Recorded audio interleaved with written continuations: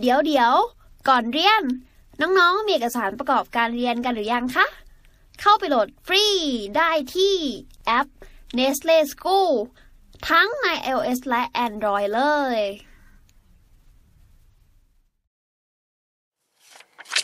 ข้อ 15 นะครับ ข้อ 15 บอกว่า A group of UK scientists have a rare opportunity to study human brains thanks to the promise of donations of brains after death by some members of a study group. The dissection of these brains and the counting of the numbers of synapses in them may add evidence to the idea of cognitive reserve. When a person gets older, they start to lose some brain synapses with a negative impact on cognitive function. Those elderly people who have led a brain friendly lifestyle when younger are thought to have created extra synapses, mitigating the naturally occurring loss of synapses through age.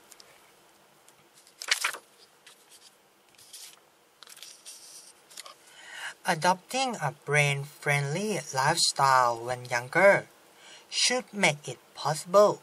to retain cognitive performance into old age. Such a lifestyle is thought to include reading books, being socially active, and physically healthy.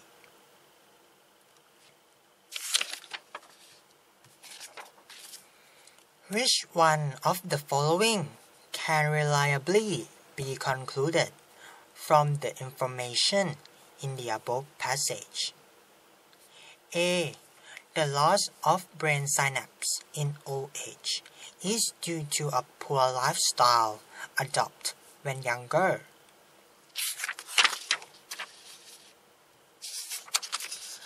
B. On average, those elderly people who have lived a brain friendly lifestyle would be expected to have a higher number of synapses in their brains.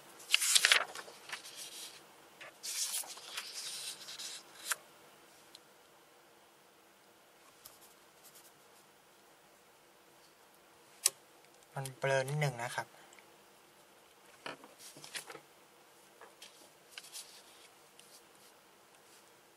C. Deteriorating cognitive performance in old age is still little understood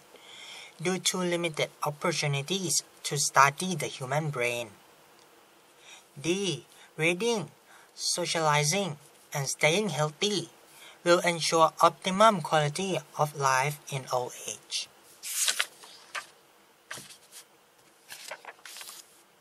Let E. We should all be encouraged to donate our brains for medical research after death. เอามาแปลโจทย์กันเหมือนเดิมนะครับอ่าข้อ 15 นะครับ A group of UK scientists ก็คือกลุ่ม กลุ่มนักวิทยาศาสตร์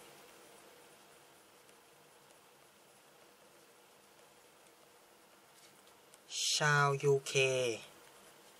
have a rare opportunity rare นะครับ rare หมายถึงอะไรคำว่า rare เนี่ย ก็หมายถึง adjective ที่แปลว่า ซึ่งหายากนะครับ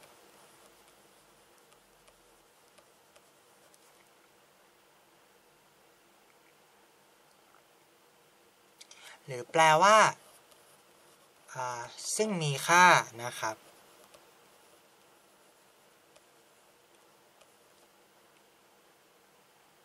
มีความหมายคล้ายกับคำว่า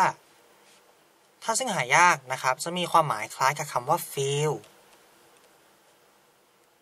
หรือ uncommon แต่ถ้าเป็นซึ่งมีค่าเนี่ย จะมีความหมายคล้ายกับคำว่า fine and valuable นะครับ นอกจากนี้เนี่ย ถ้าเป็นใช้สั่งสเต็กอะมันก็จะแปลว่าไม่สุกมาก ได้ด้วยนะครับ คล้ายๆกับคำว่า undercook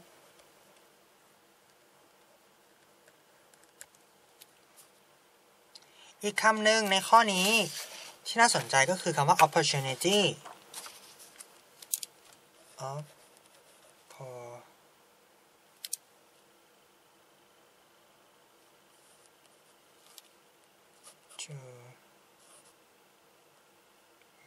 opportunity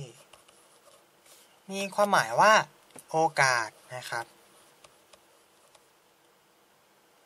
หรือจังหวะ ที่ดี มีความหมายคล้ายกับคำว่า chance หรือ occasion นะครับ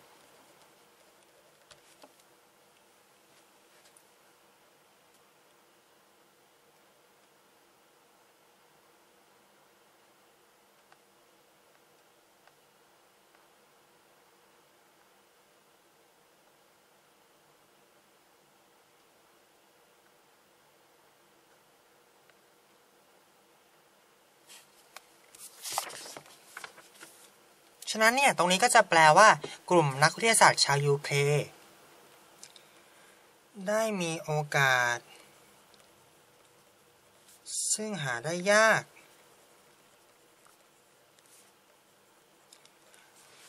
to study human brains ในการเรียนรู้ สมอง ของมนุษย์นะครับ thanks to the promise of donation of brain thanks to คืออะไร คือ thanks เนี่ย แปลว่าขอบคุณ ใช่ไหมครับ to แปลว่าถึง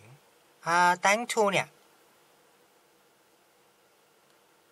มันก็ไม่ใช่การขอบคุณถึงนะครับ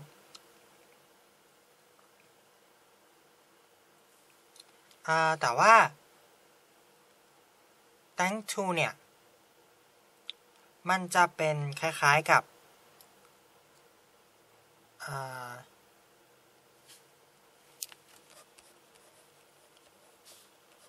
thank to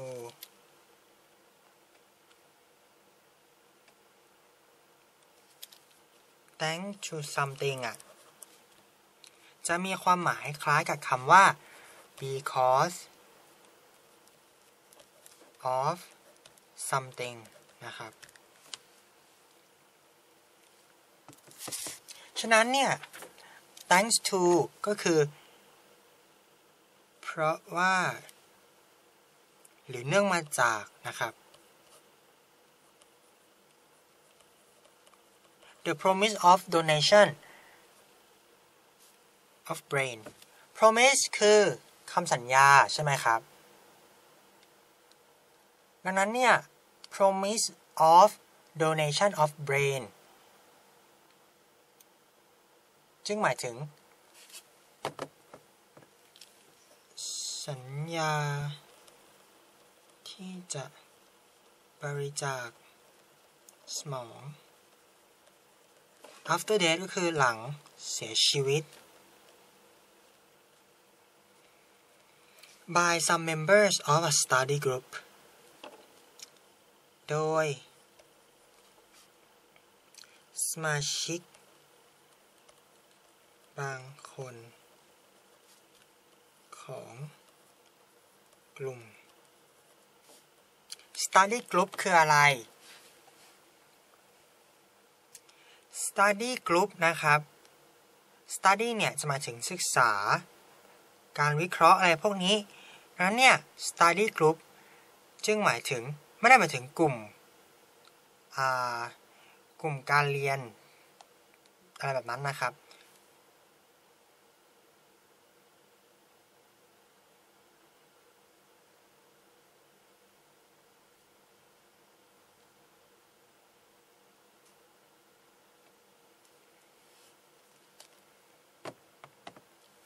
ก็หมายถึงกลุ่ม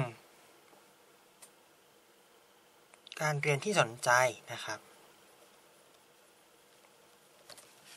แต่คีย์ไอเดียไม่ใช่อะไรแบบนี้คีย์ไอเดียคืออกลุ่มนักวิทยาศาสตร์ ได้ศึกษาสมองจากการบริจาคนะครับ นั่นคือไอเดียของตรงนี้ the dissection of this brain and the counting of the number of synapses in them may add evidence อ่าอย่างแรกเราก็มาดูคำว่า dissection ก่อนนะครับ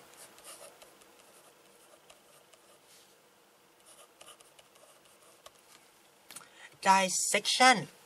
dissection เนี่ย section เฉยๆอะ่ะ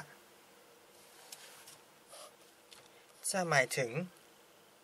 การผ่าตัด ฉะนั้นเนี่ย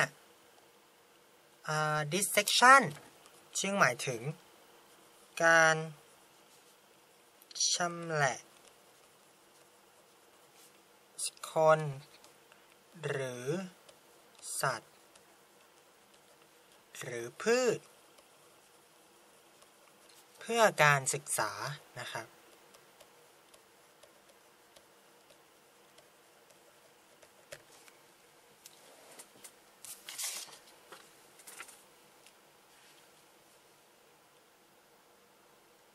ไส้แนบก็น่าจะคุ้นเคยกันอยู่แล้วนะครับ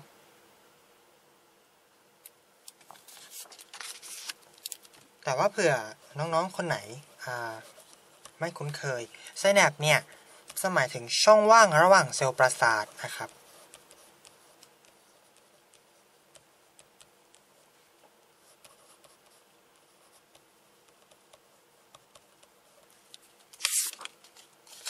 ฉะนั้นเนี่ย the dissection of this brain ก็คือการชำแหละ ศึกษา สมองเหล่านี้ and the counting of the numbers คือ และ การนับจำนวน ของช่องว่างระหว่างเซลล์ประสาท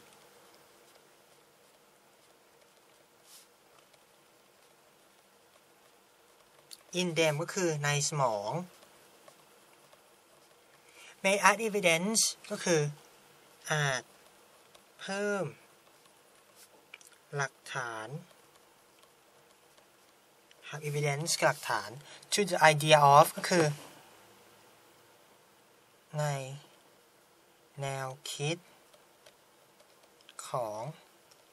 cognitive reserve cognitive คืออะไรนะครับ cognitive เนี่ย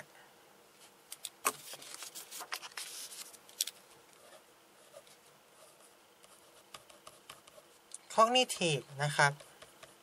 จะหมายถึงเป็น adjective นะครับ ที่หมายถึง เกี่ยวกับกระบวนการ การรับรู้นะครับ หรือแปลว่าที่เกี่ยวกับกระบวนการคิดนะครับ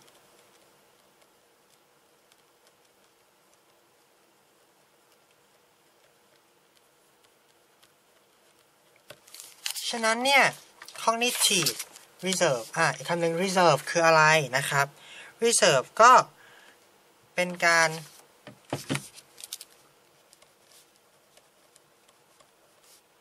สำรองนะครับ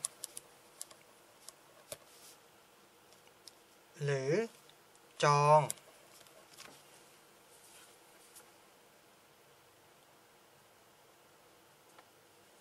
ฉะนั้นเนี่ย cognitive reserve ก็คือการสำรองความคิดนะครับ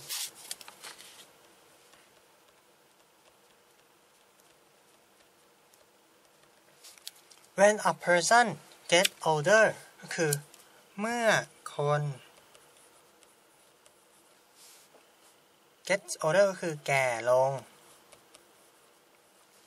they start to lose some brain synapse พวกเขาก็เริ่มเสีย synapse นะครับขอทับศัพท์ไปเลยแล้วกันนะครับ เพราะว่าน่าจะเข้าใจกันอยู่แล้วว่า synapse คืออะไร เพราะเขาก็เริ่มเสีย synapse บางส่วน ในสมองนะครับ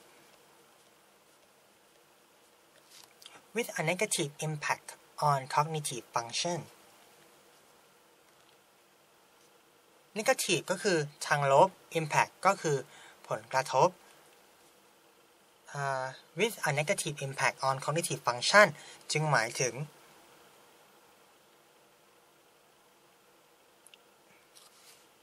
with เนี่ยคือมันแปลว่ากับใช่ไหมครับ แต่ว่าจะมากับผลกระทบเนี่ยก็แปลกๆ ฉะนั้นเนี่ย ตอนนี้ก็จะแปลว่า ตาม ด้วย ผลกระทบ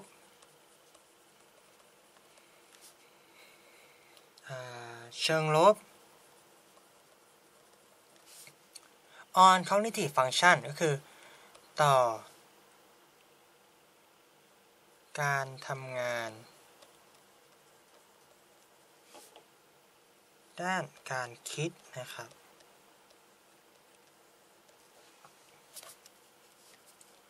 those elderly people elder เนี่ยแปลว่าอายุมากอันนี้เราน่าจะรู้กันอยู่แล้ว แต่ว่า elderly คืออะไร elderly นะครับ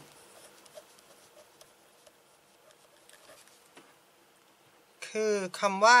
เอ่อ elder อะคำว่า elder นะครับ จะเป็น adjective ที่แปลว่า แก่กว่า หรือถ้าเป็น noun อะ จะแปลว่าผู้สูงวัย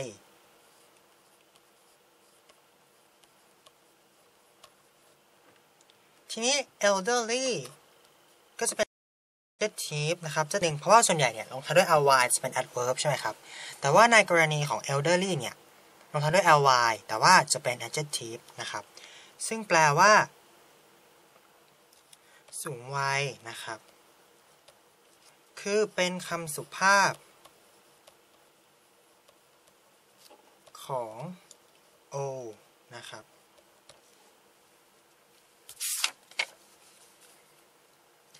ฉะนั้น those elderly people ก็คือ คนสูงวัย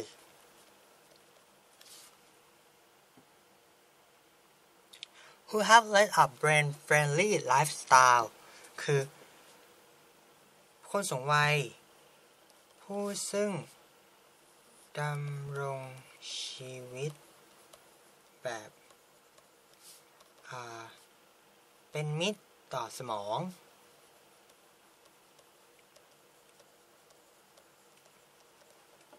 when younger ก็คือเมื่ออายุยังน้อย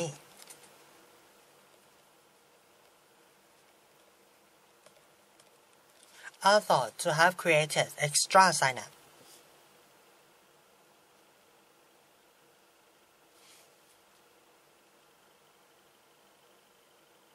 น่าจะมีการสร้างไซแนป เสริม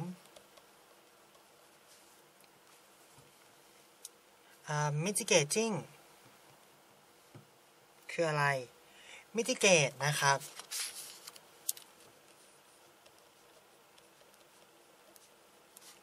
คือ mitigate เฉยๆอะ่ะ จะแปลว่า ถ้าเป็น verb อะ จะแปลว่าบรรเทา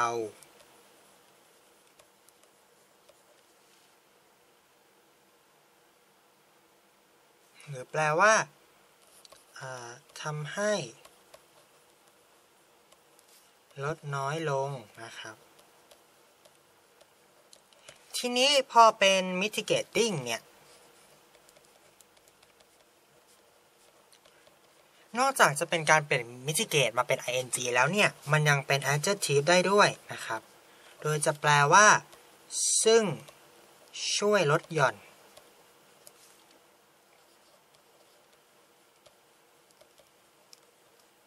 มีความหมายคล้ายๆกับคำว่า circumstance ไม่ ไม่ใช่นะครับ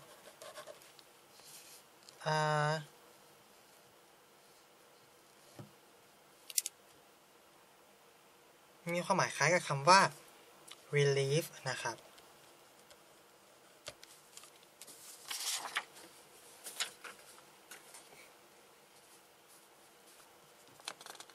mitigating ก็คือช่วยบรรเทา the naturally occurring อะไรคือ occurring occur นะครับ เป็น verb ที่แปลว่าเกิดขึ้น หรือแปลว่ามีอยู่นะครับ ความหมายคล้ายกับคำว่า take place หรือ exist นะครับ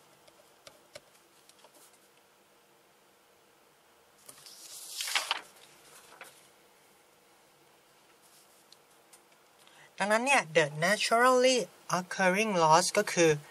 ช่วยบรรเทา การสูญเสีย ไซแนป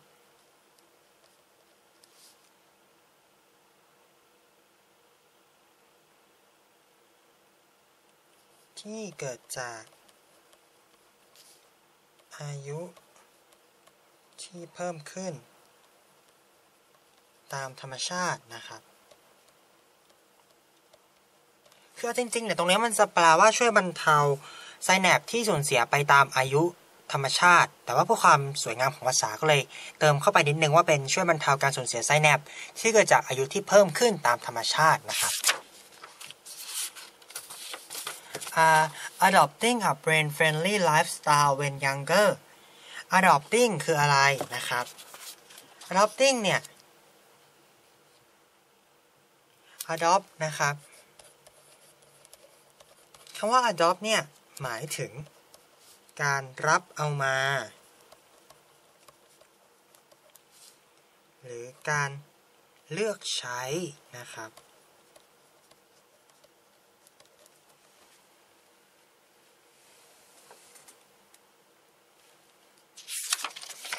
ฉะนั้นเนี่ย adopting a brain friendly lifestyle ก็คือ การเลือก ใช้ชีวิต แบบ เป็นมิตร ต่อสมอง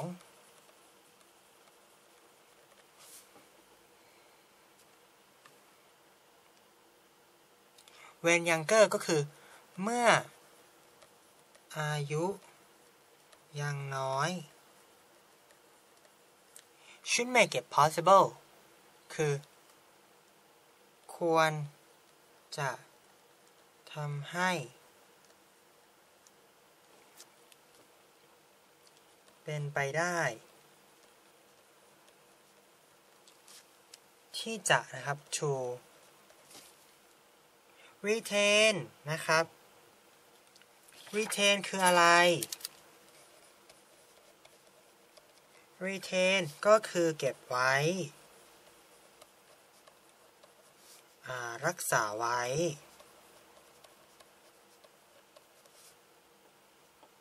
หรือสงวนไว้นะครับ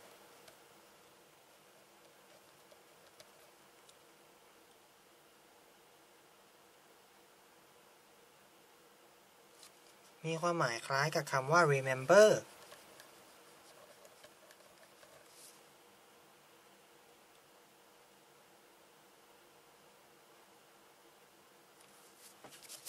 ะนั้นเนี่ยเป็นไปได้ที่จะ retain ก็คือ รักษา cognitive performance performance คืออะไรนะครับ performance ก็คือ สมรรถภาพ หรืออการแสดงอะไรพวกนี้นะครับ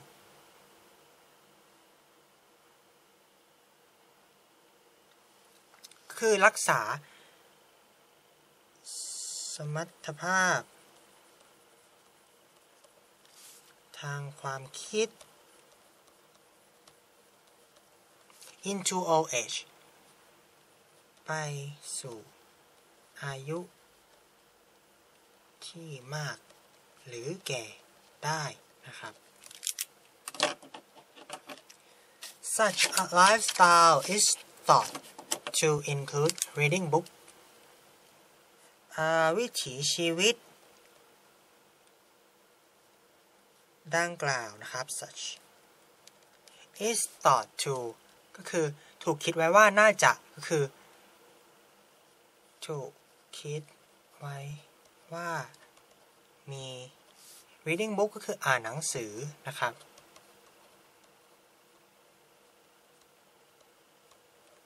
being socially active มีปฏิสมมี socially active เนี่ย ก็คือ คือ active อะหมายถึงแบบกระตือรือร้นอะไรเงี้ยนะครับ ฉะนั้นฉะนั้นเนี่ย socially active คือมีความ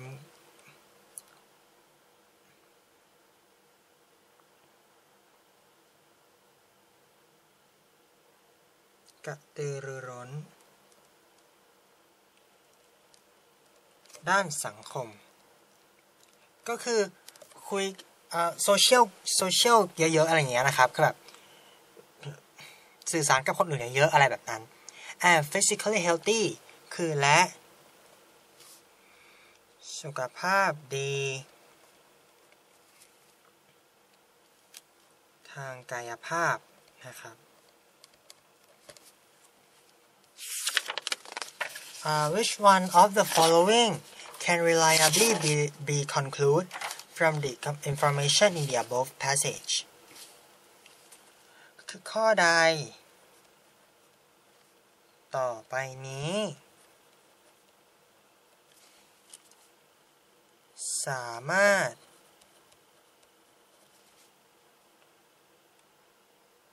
สรุป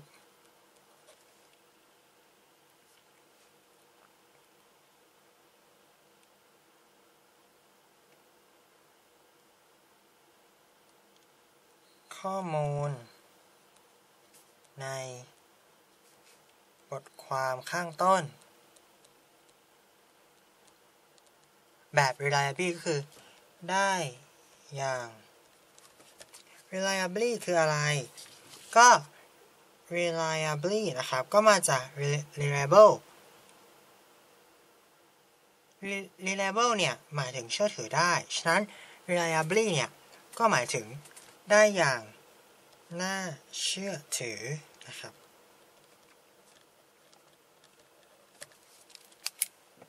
ข้อ A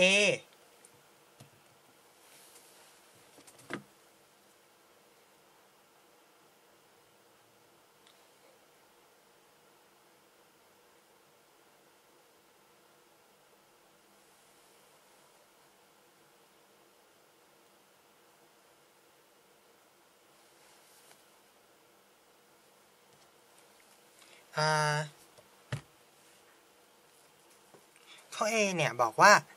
the loss of brain synapse in old age is due to a poor lifestyle adopted when younger คือ การสูญเสีย synapse ในสมอง เมื่ออายุมาก is due to ก็คือเกิดจาก a poor lifestyle ก็คือวิถีชีวิต ที่ไม่ดี adopt เป็น younger เกิดจากวิถีชีวิตที่ไม่ดี ที่ทำเมื่อ อายุ อย่างน้อยนะครับ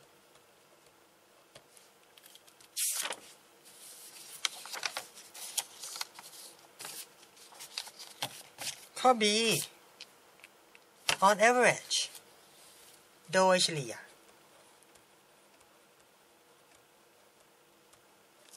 those elderly people who have lived a brain-friendly lifestyle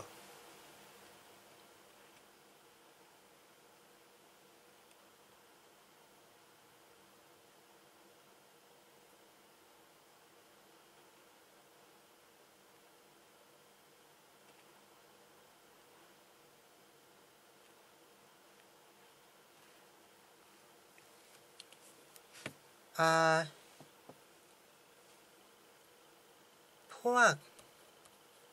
คนอาวุโส who have live a brain friendly lifestyle ก็คือ พวกคนอาวุโส ที่ ได้ใช้ชีวิต แบบ เป็นมิตรต่อสมองเนี่ย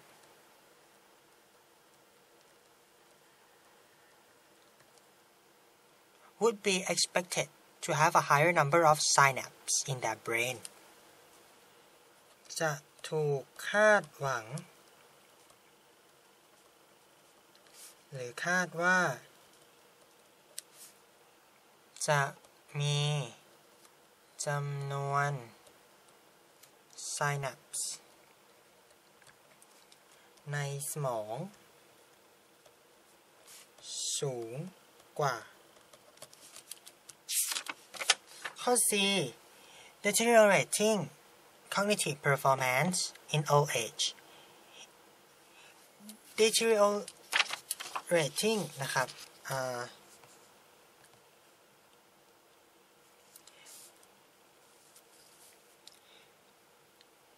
deteriorate deteriorate เนี่ย deteriorate จะหมายถึงทำให้สุดโทมเป็น verb นะครับ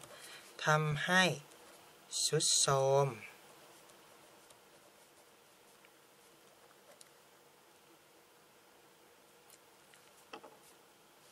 ชำรุด แตกสลายนะครับ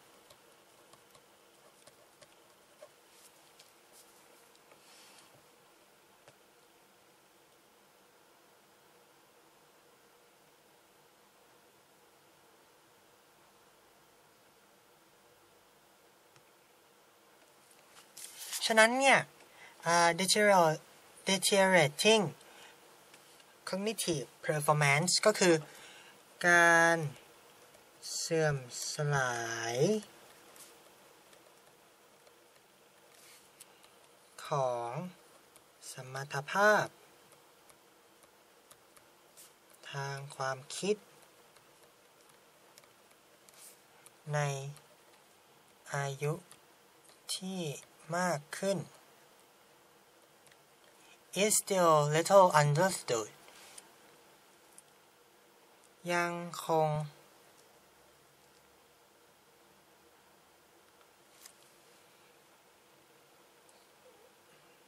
มีความเข้าใจ น้อยอเรื่องนะครับ เรื่องการเสื่อมสลายของสมรรถภาพ ทางความคิดอายุที่มากขึ้นเนี่ย ยังคงมีความเข้าใจน้อย เนื่องจากนะครับ due to the limited opportunity ก็คือ โอกาสที่จำกัด to study the human brain ในการศึกษา สมองมันครับ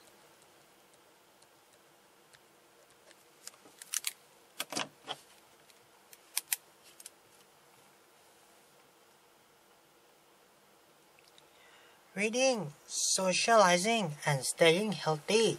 คือการอ่าน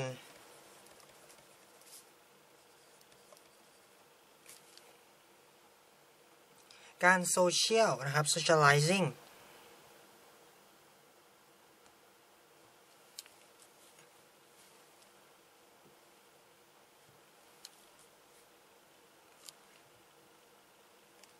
การ สนทนากัน and staying healthy นะครับ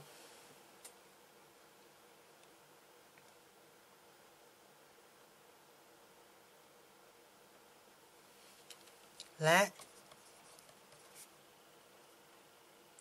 คงสุขภาพที่ดี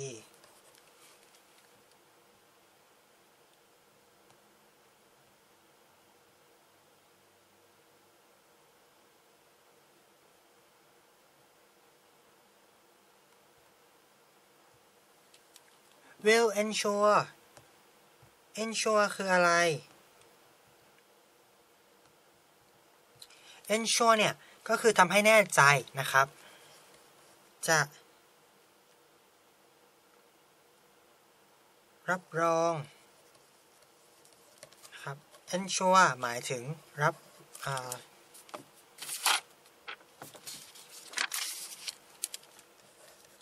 ensure นะครับ หมายถึงรับรองอประกัน หรือทำให้มั่นคงนะครับ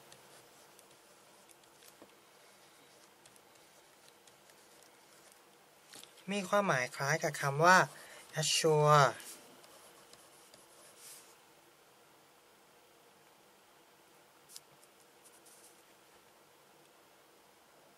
หรือ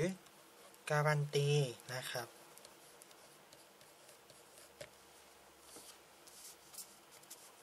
แล้วก็อีกคำหนึ่ง optimum นะครับ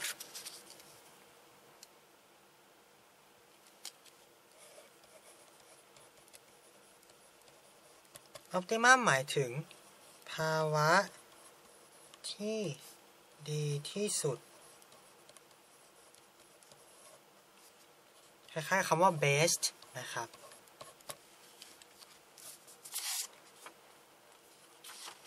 ฉะนั้นเนี่ยจะรับรอง คุณภาพนะครับ quality of life นะครับ คุณภาพชีวิต ที่ดีที่สุดนะครับ ensure optimum ใน ช่วงอายุที่มากขึ้นนะครับ และช้อยข้อสุดท้ายนะครับ uh, we should all be encouraged to donate our brains for medical research after death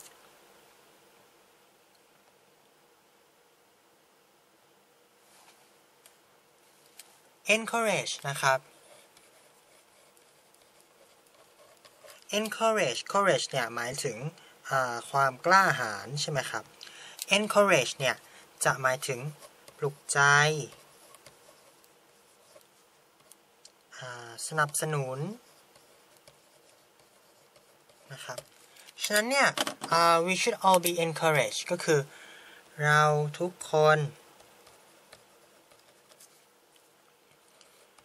ควรถูก ส่งเสริม ให้ครับ to donate เพื่อบริจาคสมองสำหรับการศึกษานะครับ medical research หรือการศึกษาหรือการวิจัยทางการแพทย์ after death นะครับ หลังเสียชีวิตนะครับ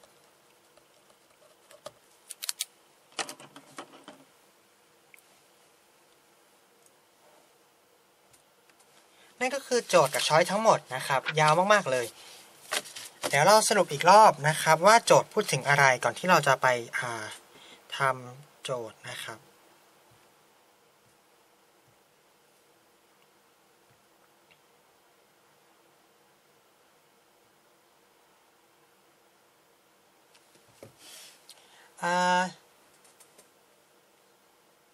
โจทย์นะครับก็พูดถึงเรื่องของ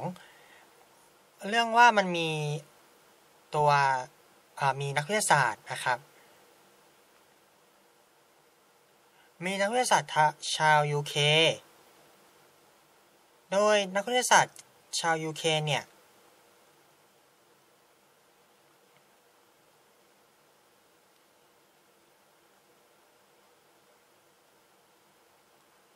นักวิทยาศาสตร์ชาวยูเคเขา กติมันจะมีโอกาสยากใช่ไหมครับ ที่จะศึกษาเรื่องสมอง ทีนี้มีคนบริจาค สมองให้เขาก็เลยได้ศึกษานะครับนั่นคือใจความของย่อความแรก ทีนี้เนี่ย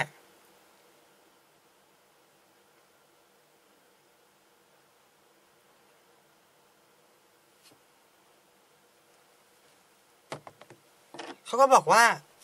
การชำแหละศึกษาสมองเหล่านี้ แล้วนับจำนวนสมองเนี่ยจะเพิ่มหลักฐานในเรื่องของการสำรองความคิดเมื่อคนแก่ลง ว่าพอคนแก่ลงเขาก็เริ่มเสียไซแนปซึ่งการสูญเสียไซแนปเนี่ย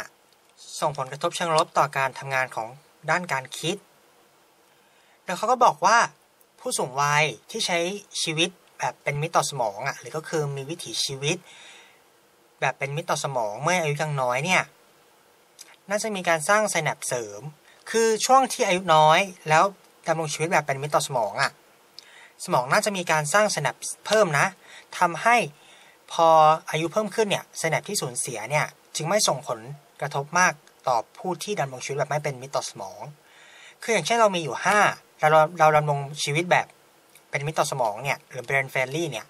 ทำให้ไซแนปเพิ่มมาเป็น 6 ใช่ไหมครับ พอเราแก่ตัวปุ๊บจาก 6 ลดไป 3 ก็เหลือ 3 แต่ว่าคนที่ไม่ได้ดำรงชีวิตแบบ brain friendly อะจาก 5 พอลดไป 3 จะเหลือ 2 อันนี้ก็คือสิ่งที่ย่อหน้าย่อหน้านี้จะสื่อนะครับว่าคนสูงวัยที่ดำรงชีวิตแบบ brain friendly อะน่าจะมีไซแนปเพิ่มขึ้นตอนยังเด็กทำให้พออายุเพิ่มขึ้นแล้วไซแนปลดลงอะการสูญเสียไซแนปจึงถูกบรรเทาไปได้นะครับ แล้วเขาก็เลยขยายความ ว่าการใช้ชีวิตแบบ brain friendly ตั้งแต่เด็กเนี่ย น่าจะทำให้สามารถรักษาสมรรถภาพทางความคิดไปได้เมื่ออายุมาก โดย brain friendly เนี่ย ก็มีการอ่านหนังสือ การ socially active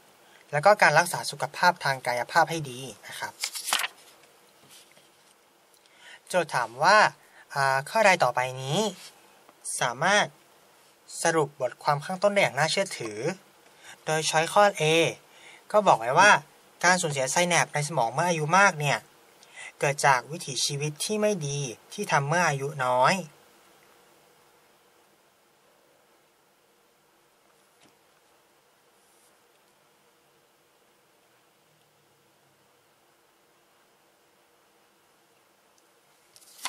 ข้อ B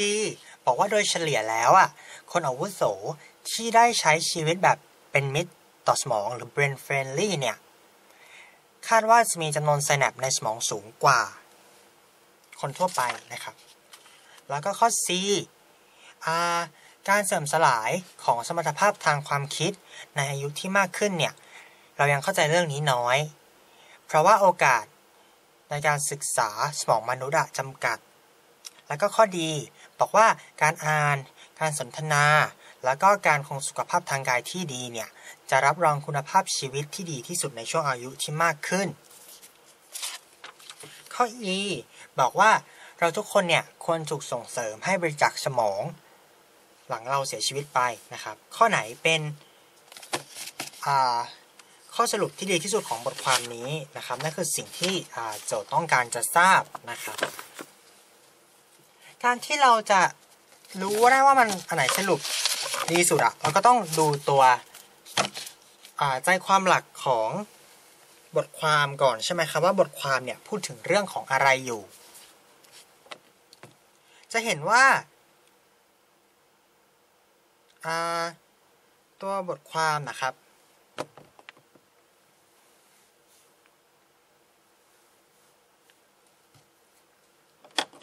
สิ่งที่บทความพูดถึงเนี่ยตอนแรกมาเป็นเกริ่นใช่ไหมครับ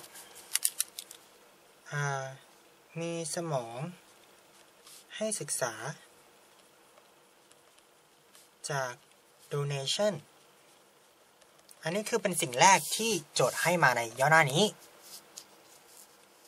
แล้วก็ต่อมาเขาก็บอกว่า การชำแหละศึกษาสมองอาจเพิ่มหลักฐานแนวคิดของ cognitive reserve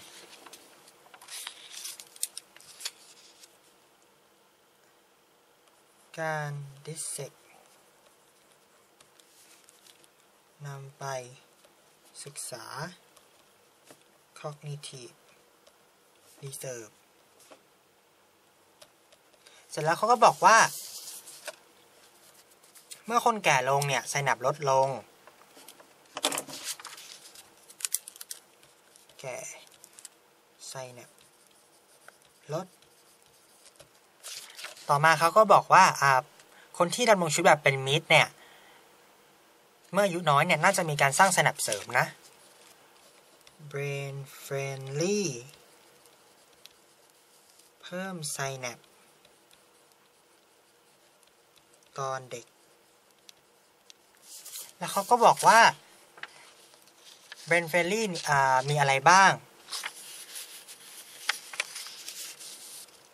ก็บอกว่ามี reading active socially แล้วก็ healthy นะครับ reading socially active แล้วก็ physically healthy นะครับ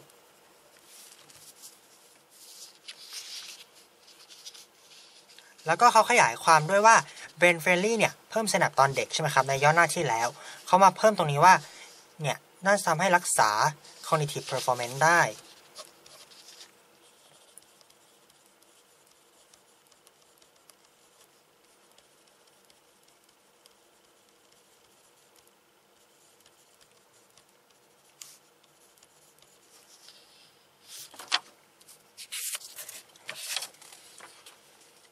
โจถามว่าอันไหนเป็นข้อสรุปที่น่าเชื่อถือที่สุด ก็มาดูคีย์บทความก่อน คือบทความเนี่ย ตอนแรกเกิดว่ามีสมองให้ศึกษาจาก donation ใช่ไหมครับ ต่อมาเนี่ยก็พูดถึงเรื่อง cognitive cognitive บ่อยมาก แล้วก็พูดถึงเรื่องว่าพอมีสมองปุ๊บ สมองเลยถูกเอาไป dissect ได้ศึกษาเรื่องไซนับลดลง แล้วเพราะว่า brain friendly เนี่ยเพิ่มไซนับทำให้รักษา cognitive ได้ แล้วก็พูดได้ว่า brain friendly เนี่ยมีอะไรบ้าง ฉะนั้นเนี่ยใจความหลักหรือข้อสรุปของบทความนี้เนี่ยจะต้องเกี่ยวกับเรื่องของ brain friendly ใช่ไหมครับ ราะว่าไอการบอกว่าสมองให้ศึกษาหรือว่าการไดเซกนำไปศึกษาอะไรเนี่ยเป็นแค่การเกริ่นเข้าสู่ใจความหลักเท่านั้นว่าเนี่ยบทความนี้จะพูดถึงเรื่อง brain friendly นะ ทีนี้ brain friendly อะไรล่ะ แล้วก็มาดูแต่ละอันนะครับ ข้อ A บอกว่าการสูญเสียเส้นแนวในสมองเมื่ออายุมากขึ้น เกิดจากวิถีชีวิตที่ไม่ดีเมื่ออายุยังน้อย อันเนี้ยเป็น truth แต่ไม่ได้เป็น conclusion เพราะว่าการที่สูญเสีย synapse ในสมองเมื่ออายุมากเกิดจากชีวิตที่ไม่ดีเนี่ยเป็นแค่ส่วนหนึ่งของบทความ มันไม่ได้สรุปเรื่องของการมีมีวิถีชีวิตแบบ brain friendly จะทำให้ synapse เพิ่มขึ้นอะไรแบบนี้เลยนะครับไอ้ข้อ A เนี่ยมันเป็นข้อความจากบทความจริง แต่ว่ามันไม่ได้เป็นการสรุป มันแค่ยกข้อความส่วนหนึ่งของบทความมา ฉะนั้นข้อ A เนี่ยผิดนะครับ ต่อมาก็ข้อ B ข้อ B บอกว่าโดยเฉลี่ยแล้วคนอาวุโสที่ใช้ชีวิตแบบเป็นมิตรเนี่ยน่าจะมี synapse สูงกว่า นี่เลยครับเป็นข้อสรุปที่ถูกต้องทำไม เพราะว่าหนึ่งเนี่ยเขากล่าวถึงเรื่องคนอาวุโส แล้วก็กล่าวถึง brain friendly ว่าการที่คนแก่การดำรงชีวิตแบบ brain friendly เนี่ย จะมีไซนัปสูงกว่า expect to have a higher number ซึ่งการบอกว่า expect to have a higher number เนี่ย เป็นการบอกอ้อมๆว่าคนที่ไม่ได้มี brain friendly อะ จะมีไซนัปต่ำกว่า ซึ่งก็เป็นใจความทั้งหมดของตัวบทความนี้เลยนะครับ ข้อ B เนี่ยจึงเป็นข้อสรุปเลย แล้วก็มาดูช้อยอื่นนะครับ ข้อ C บอกว่าการเสื่อมสลายเนี่ยการเข้าใจเรื่องนี้น้อย เพราะว่าโอกาสจำกัด อันนี้ไม่ใช่การสรุปนะครับ อันนี้เป็นแค่การขยายความ หรือว่าเป็นการ assume ไม่ได้เป็นการ conclude นะครับ เพราะว่าตัวบทความเนี่ยกล่าวแค่เรื่องว่าสมองให้ศึกษามาจากการ donation ซึ่งเป็น rare opportunity เป็นแค่จุดแรกของบทความเท่านั้นไม่ได้เป็นจุด ไม่ได้เป็นใจความหลักนะครับ ข้อ C เนี่ยเป็นแค่การเอาย่อความแรกของบทความเนี่ยมาขยายความว่าทำไมถึง rare นะครับงั้นข้อ C เนี่ยจึงผิดเพราะว่าใจความหลักเรื่องนี้ไม่ได้เกี่ยวกับเรื่องของโอกาสที่จำกัดในการศึกษาสมองมนุษย์นะครับ ข้อดีบอกว่า reading socialize and stay healthy will ensure optimum quality of life in old age อ่าอันนี้ผิดนะครับ เพราะว่าอันเนี้ยเป็น quality of life แต่ว่าบทความเนี่ยกล่าวแค่เรื่องของสมองนะครับ ข้อดีก็เลยไม่ได้เป็น conclude นะครับ ส่วนสุดท้ายข้อ E บอกว่าเราทุกคนควรถูกส่งเสริมให้บริจาคสมอง ก็คล้ายๆกับข้อ C นะครับ ไม่เกี่ยวไม่ได้เป็นใจความหลักเลย เรื่องการ donation สมองเนี่ยเป็นแค่จุดเริ่มต้นนะครับ ไม่ได้เป็นใจความหลักของบทความ ข้อ E จึงไม่ได้เป็น conclusion นะครับ ย้ำอีกทีว่าโจทย์ข้อนี้ถาม conclusion หรือข้อสรุปนะครับ ดังนั้นช้อยที่แม้จะเป็นสิ่งที่ถูก แต่ว่าไม่ได้เป็นการสรุปบทความ คือไม่ได้เป็นแบบเนื้อหาหลักของบทความอะ จึงไม่ใช่คำตอบที่ถูกต้องนะครับ ดังนั้นสรุปเนี่ยข้อ 15 นะครับข้อบทความในข้อ 15 เนี่ยกล่าวถึงเรื่องของการศึกษาสมอง ก็เกิดมานิดนึงว่าสมองมายังไง แล้วก็เข้าสู่ใจความหลักเลยว่า จากการศึกษาเนี่ยพบว่าเมื่อคนแก่ลงสนับจะเสีย แล้วก็บอกว่าคนที่ดำรงชีวิตแบบ brain friendly อะจะมีการสร้างไซนัปเสริมตอนเด็กทำให้บรรเทาการสูญเสียไซนัปเมื่ออายุเพิ่มขึ้นได้ แล้วก็บอกว่าการดำรงชีวิตแบบ brain friendly เนี่ยจะช่วยรักษาสมรรถภาพความความคิดได้เมื่ออายุมากขึ้น แล้วเขาก็ยกตัวอย่างมาด้วยว่า brain friendly เนี่ยมีอะไรบ้าง แล้วโจทย์ก็ถามว่าอันไหนสรุปได้ดีที่สุด ข้อ A ไม่ใช่ เพราะว่ามันเป็นแค่ส่วนหนึ่งของบทความไม่ได้เป็นการสรุปอะไรเลยนะครับ ยกมาตรงๆเลยก็ผิด ข้อ B เนี่ยถูกต้อง เพราะว่าการบอกว่า elderly ที่ใช้ชีวิต brain friendly จะมี higher number of เป็นการบอกอ้อมๆ ว่าคนที่ไม่ได้ใช้ชีวิตแบบ brain friendly อะจะมีไซนัปต่ำกว่า ก็คือเป็นการสรุปใจความทั้งหมดเลยว่าไซนัปเนี่ยมีผลต่อlife lifestyle เนี่ยมีผลต่อ synapse แล้วก็คนที่อายุมากที่ไลฟ์สไตล์เด็กๆดีอะจะมี number synapse เยอะกว่านะครับ ส่วนข้อ C ผิด ผิดไม่ได้เป็นเพราะว่ามันผิดแต่ว่าผิดเพราะว่ามันไม่ใช่เป็นข้อสรุปนะครับไม่ได้เป็นใจความหลัก เพราะว่าการ limited opportunity เนี่ยหรือว่าเรื่อง rare opportunity เนี่ยเป็นแค่จุดเล็กๆ ของบทความเท่านั้นไม่ใช่เป็นใจความหลักนะครับ ข้อดีก็ไม่ใช่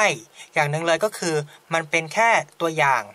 uh, brain friendly lifestyle อย่างที่สองก็คือมันบอกว่า quality of life นะครับทั้งที่บทความเนี่ย พูดถึงแค่ brain นะครับส่วนข้อ E ก็ไม่ใช่นะครับไม่ใช่ข้อสรุปเลย เพราะว่ามันเป็นเหมือนกับ suggestion เฉยๆ ว่าเราควรบริจาคกันเยอะๆจะได้มีสมองให้ศึกษาเพิ่มขึ้น แต่ว่าใจความหลักของบทความนี้ไม่ได้เป็นการแนะนำหรืออส่งเสริมให้คนไปบริจาคสมองนะครับ ข้อ E ก็เลยผิดทำให้ในข้ออในข้อนี้ ในข้อ 15 นี้นะครับ ตอบข้อ B นะครับ on average those elderly people who have live a brain friendly lifestyle will be expected to have a higher number of synapses in their brain นะครับเรียนจบแล้ว อย่าลืมเข้าไปฝึกทำข้อสอบแบบจับเวลา ในแอป Nestle School กันด้วยนะจ๊ะ ถ้าน้องๆมีคำถามสงสัย ไม่เข้าใจตรงไหน ถามว่าในแอปได้เลย แล้วพี่ๆจะรีบเข้าไปตอบให้นะคะ ดูจนจบเลยคิดถึงกันใช่ไหม